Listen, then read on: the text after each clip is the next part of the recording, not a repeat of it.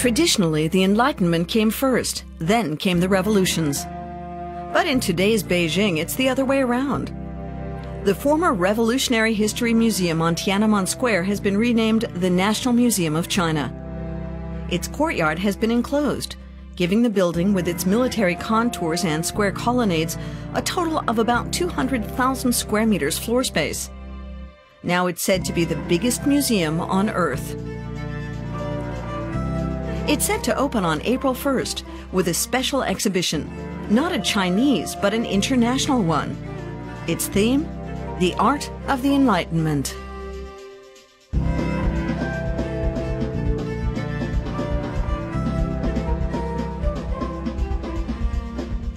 The architects for the renovation were the Hamburg-based firm Gerkan, Marg and Partners. The exhibition is to run for one year. It's 600 works spanning the 18th century, when Europe threw off the yoke of political and religious absolutism.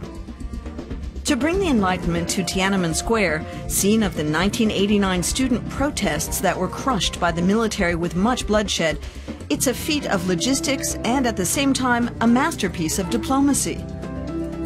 It's a cultural mission with a political edge.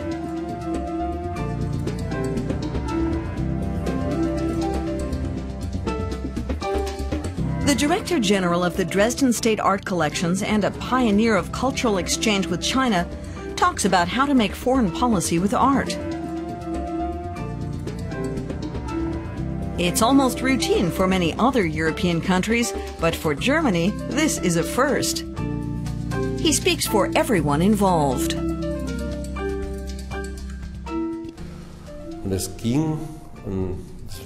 It's important to emphasize that the initiative came from our Chinese partners. During a state visit by the German president at the time, Horst Köhler, they proposed that we sign a joint agreement on it, in the presence of Horst Köhler and Hu Jintao. Ja, als Gegenwart von äh, Herrn Köhler und Hu Jintao. So all the political maneuvering and the really intense effort that the former foreign minister Frank-Walter Steinmeier put into it paid off. He even got involved in the content aspect. These are very clear signals that politics and culture interact and the support from the private sector was fabulous. Here we finally managed to get all the partners together on one side for a public exhibition. It's also a signal of interest in this topic, and it's a result of China's resonance with Germany, which I'm every bit as proud of as I am of the exhibition. And the importance is reflected in the funding structure. 80% of the financial support came from the German Foreign Ministry. The exhibition The Art of the Enlightenment is a 10 million euro gift from the German taxpayer, augmented by funding from sponsors.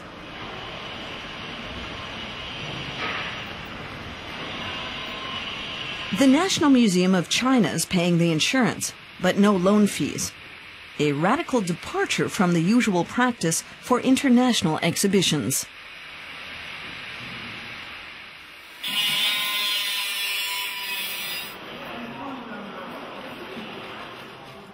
But even the best laid plans often go awry. The opening of both museum and exhibition was postponed several times, which is only to be expected when dealing with such a large building and up to 30,000 visitors a day. It's a massive challenge, even by Chinese standards.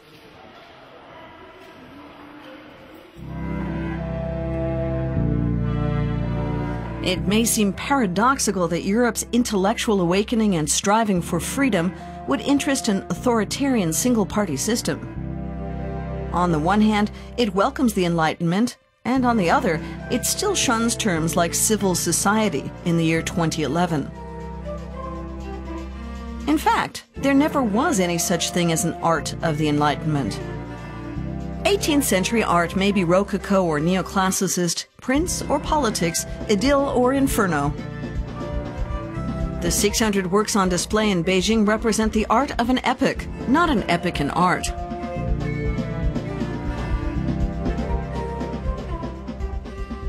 The European Enlightenment is in fact part of both the school and university curriculum in China. So the European Enlightenment is a concept here, especially as manifested in literature and philosophy, by Lessing and Kant among the Germans and of course by Rousseau among the French. So they have these points of reference. But for this exhibition, we set ourselves the task of investigating and pursuing the interpretation and visualization of the Enlightenment in images, its effects on art and European culture and contemporary thought. We worked on that with our Chinese counterparts, and I think we came up with a good concept. The Chinese are well aware and openly acknowledge that the European Enlightenment had a global significance for the cultural systems of the world. Humans and their self-determination in society and the universe are very closely connected with the thinking of the Enlightenment. Ähm, the freedom and self-determination of people as individuals are inconceivable without the French Revolution and the European Enlightenment. Die Selbstbestimmung des Menschen als Individuum ist ohne die Französische Revolution und die europäische Aufklärung nicht denkbar.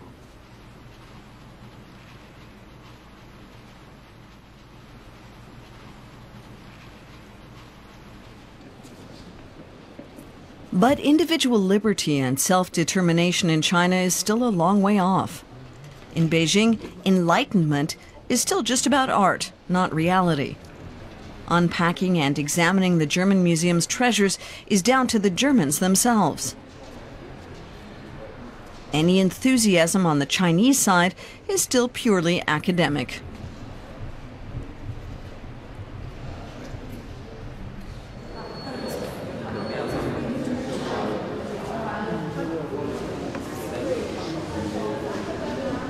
No, it is a board. The, the wood and the carving.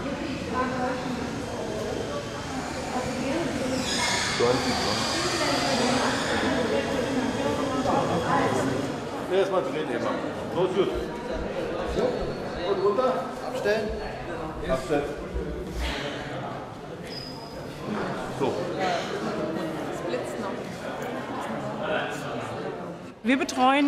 We look after the exhibits until they're in the display case or on the wall. After that, it's the National Museum's responsibility. So our Chinese counterparts and the Chinese restorers are on hand to examine the piece's condition and sign for them, or they notice things that they want written down. And when we take down the exhibition in a year's time, we'll be doing the return handover, and our Chinese counterparts have to be able to show that everything has remained unchanged.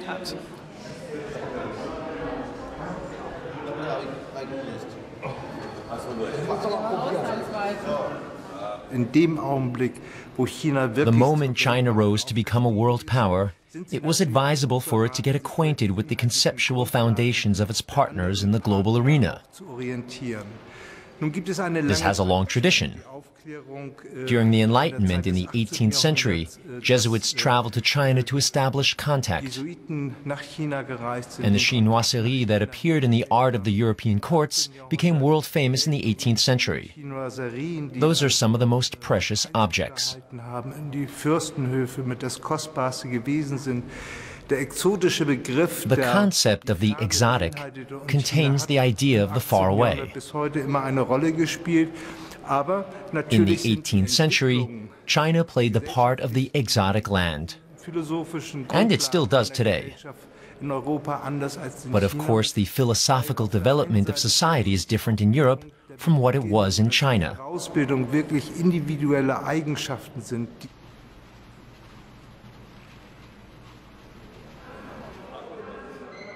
Ähm, on the one hand, the Beijing exhibition is about the significance of art in the Enlightenment, and on the other, it's about the significance of the Enlightenment for art after the Enlightenment. Both are fascinating themes for European cultural and intellectual history. The 18th century was a time of unparalleled revolution in art and media. New media were invented, steel and wood engraving and lithography, for example. That allowed images to be reproduced in numbers inconceivable in the previous centuries. All at once, art became a mass medium and started exerting a powerful influence on public thought.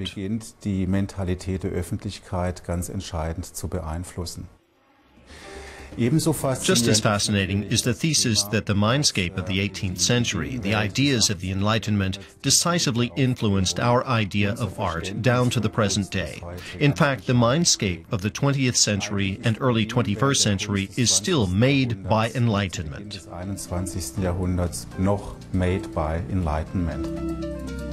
The history of art is the history of ideas as well. But only gradually did the ideas of the Enlightenment begin appearing in the imagery of the 18th century. Long bound to the courts of the nobility, art tended to be conservative. The Beijing exhibition reflects this. It illustrates an epoch that proved a turning point for Europe, but does not analyze it.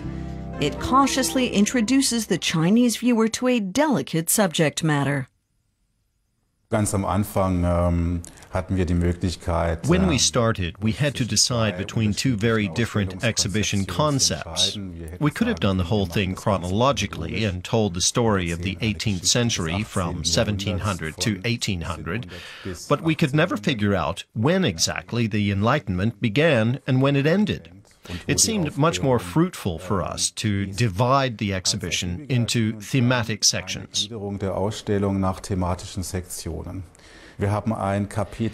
We have a chapter called Near and Far. It's about European art's first encounter with art from beyond Europe. Just imagine, in the 18th century, Chinese art suddenly began rippling into the European art world. The China trend became one of the main trends of the 18th century. Leibniz even idealized China as the Europe of the East. des Ostens.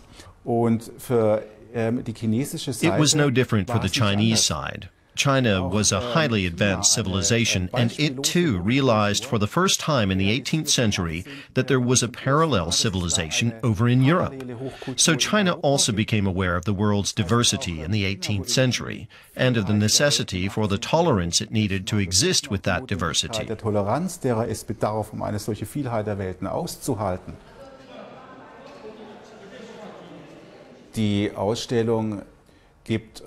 the nearly 2,500 square meters of exhibition space gives all the pieces adequate room. And the generous layout allows us to put together a synopsis of the widely differing types of objects. Ähm, we shouldn't regard this exhibition in Beijing as a conventional exhibition of paintings or prints. These conventional forms serve to separate the media from one another ähm, instead of bringing them together. So for us too, this exhibition is a kind of strategic experimental lab. Ähm, We're developing an exhibition format that doesn't exist yet in Germany in this form. Entwickeln da ein Ausstellungsformat, das es so in Deutschland noch gar nicht gibt.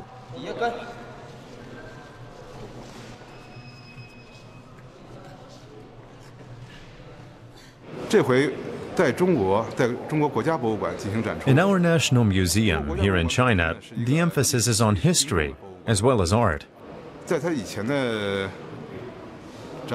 We've mixed genres here in the past. But offering single genres such as painting alone or sculpture alone makes it hard to put across an overall impression of an epic in Chinese history. So, after some consultation, our German counterparts also chose this kind of exhibition format for the 18th century.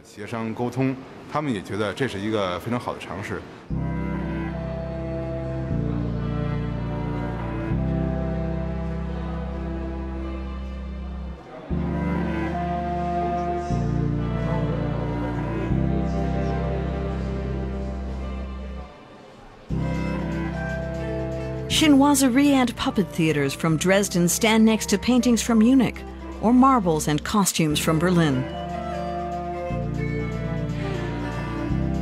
commemorative coins, porcelain tableware, early scientific instruments like a camera obscura, a vacuum pump, or an electrostatic generator, or an early globe where the name of China isn't even mentioned. The art of the Enlightenment is conceived as a light-hearted stroll through a century that few Chinese are familiar with. Whenever possible, replicas offer the opportunity to touch and explore. The objects represent high art and everyday life. They can be sentimental bric-a-brac or precious items from life at court.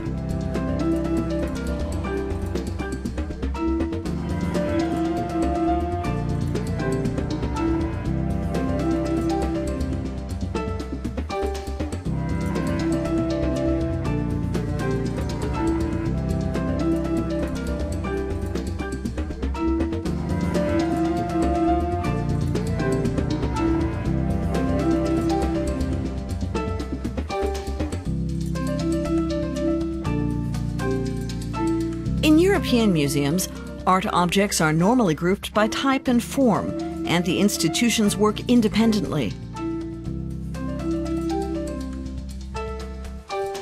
What's different about this exhibition is its public funding and diplomatic aim of deepening the dialogue with China, the world power, and China, the marketplace.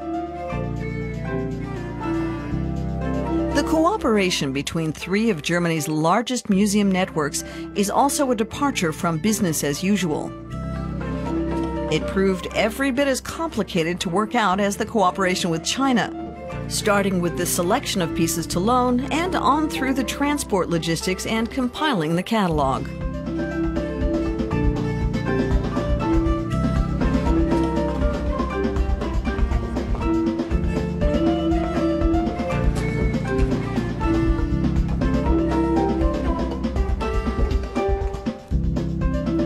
Outside, it may have looked like peace and harmony.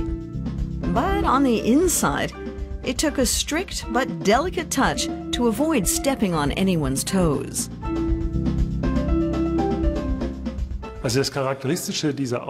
What's extraordinary about this exhibition is the fact that the big three German museum networks got together on a joint effort, which right from the start and through the entire process was not only the goal, but their entire approach. I'd see it as the highest compliment if the specific contributions that Berlin, Dresden, or Munich have made to the exhibition could no longer be recognized, except maybe by the objects the various collections have lent. Here I'm standing in front of one of the prime objects in the exhibition. It came from the Berlin collection. Heinrike Dannecker by Christian Gottlieb Schick. It played a key role in the imagery of the 19th 19th century, almost right up to the reception of the French Revolution's ideals.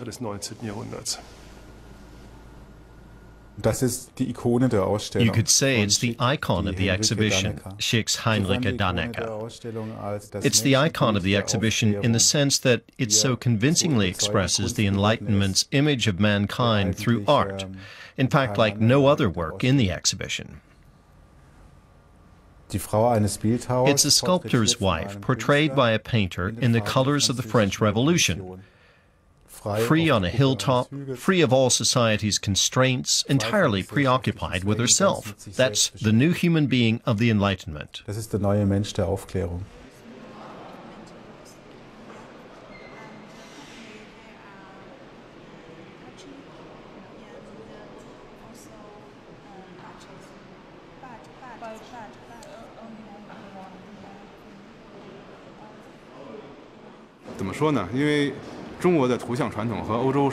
China's pictorial tradition is different from Europe's.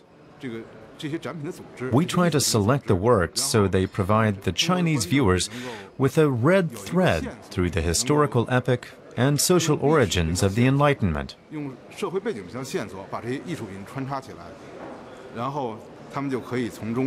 With this help, the viewers see how the works relate to one another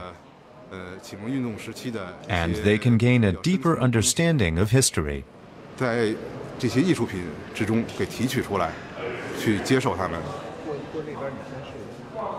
In the run up to the opening, the Chinese media have been reporting extensively on the exhibition. Official circles, less so.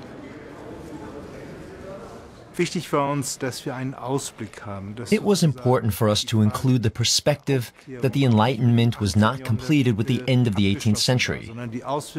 Its impact reaches into the 20th century. The sciences that saw their birth in the 18th century have developed further.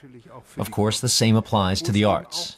In the 20th century, art is no longer about the representational quality, but about meditations that focus on the art medium itself. And of course, that started a revolution that only serves to reveal how virulent all these questions remain today. It's still all about the freedom of art, the freedom of thought, about creating opportunities for a society to develop democratically, and about allowing the individual to find his or her place in society on the one hand, and on the other hand, about how societies have to work in relation to one another.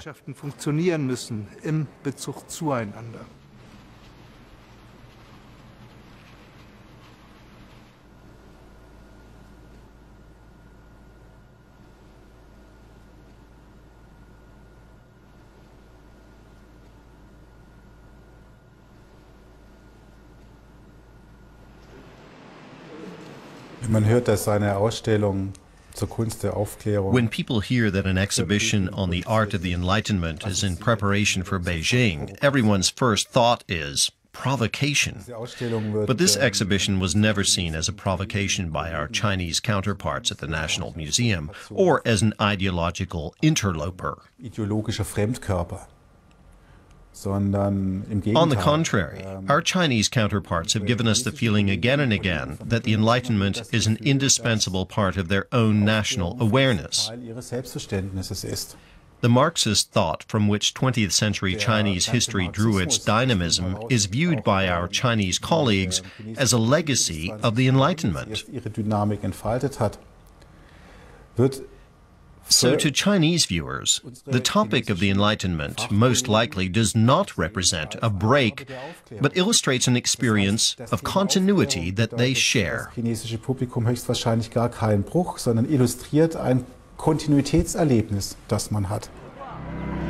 For the exhibition's opening, the National Museum had a surprise in store a 10 meter tall statue of the long suppressed philosopher Confucius.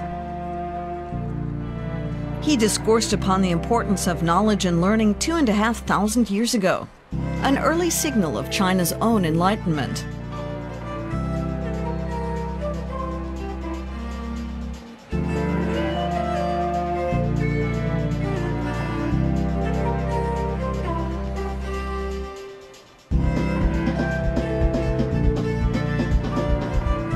It may simply be a reminder that progress is only possible through curiosity prosperity through individual initiative, and success through ingenuity.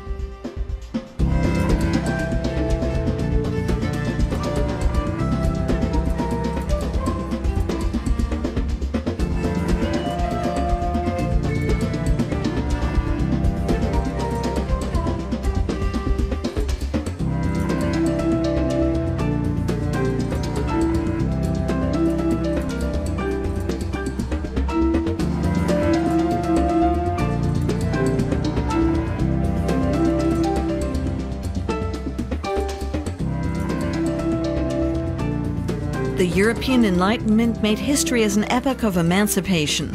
Emancipation of the individual, of science, and the arts. Denis Diderot published his encyclopedia, a first databank of general knowledge. Museums were created that were open to the public. There were visions of an education through the arts.